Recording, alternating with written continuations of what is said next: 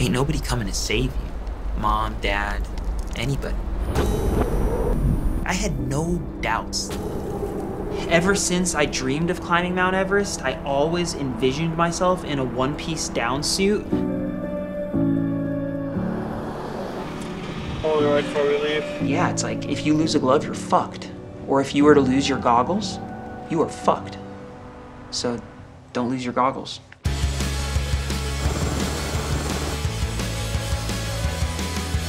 There is a real risk of like just falling into the abyss.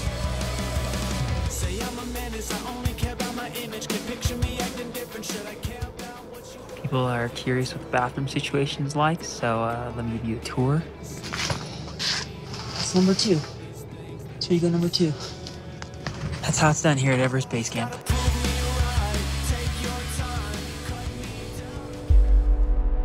I went with the intention to not survive Everest. My intention was to thrive through something.